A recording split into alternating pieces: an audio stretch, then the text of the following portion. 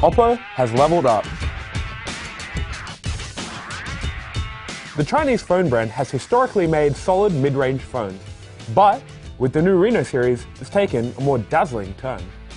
The Oppo Reno 5G is, as the name suggests, a 5G phone, putting it in an exclusive class. In that territory, it's competing with the Samsung Galaxy S10 5G, the LG V50, and the OnePlus 7 5G. Unsurprisingly, it's the company's most expensive phone yet. If you live in the US, you can import the phone for around about a thousand bucks. There's also a 4G version, the Oppo Reno 10X Zoom, which is identical to the Reno 5G in all ways, except, well, 5G. It may be the future of mobile internet, but right now, the best selling points about the Oppo Reno 5G actually have nothing to do with 5G. Once a shameless maker of iPhone clones, Oppo's Reno phones have a distinct, slick design. There's no notch up top, so you'll take selfies on a shark fin style pop-up camera. Here, it bears a strong resemblance to the OnePlus 7, but that's not surprising given the two are essentially sibling companies. It has a two-tone back, coming in ocean green or jet black, which isn't as flashy as, say, Huawei's P30 phones, but it's a refined, subtle look. The next upgrade comes to the camera.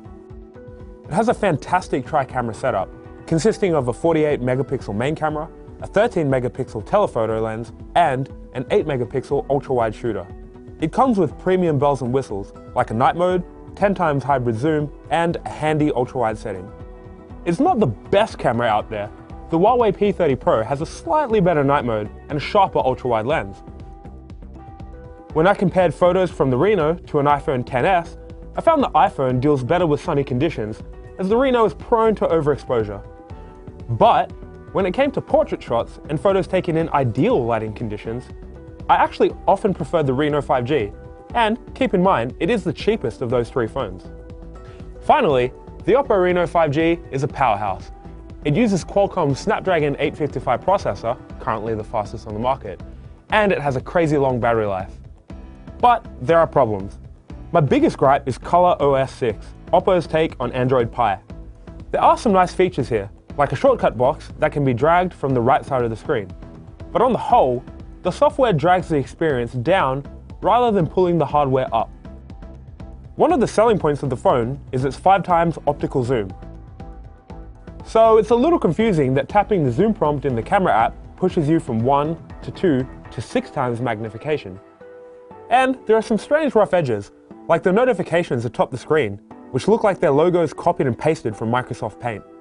Is this a deal breaker? No, but you're paying a premium price, so the software should be premium too. Then there's 5G. This isn't a flaw with the phone as such, it's simply that 5G at the moment isn't really worth investing in, in the US, UK, and Australia, coverage is spotty, relegated only to certain parts of cities or suburbs. My experience ranged widely. I got up to 489 megabits per second in one 5G area, but couldn't go above 155 in another. 155 megabits per second isn't bad, and on that speed, I was able to download PUBG in under two minutes. But it's not the 1, 10, or 20 gigabytes per second we've been promised. And even if it was, coverage is just too limited to make using 5G convenient.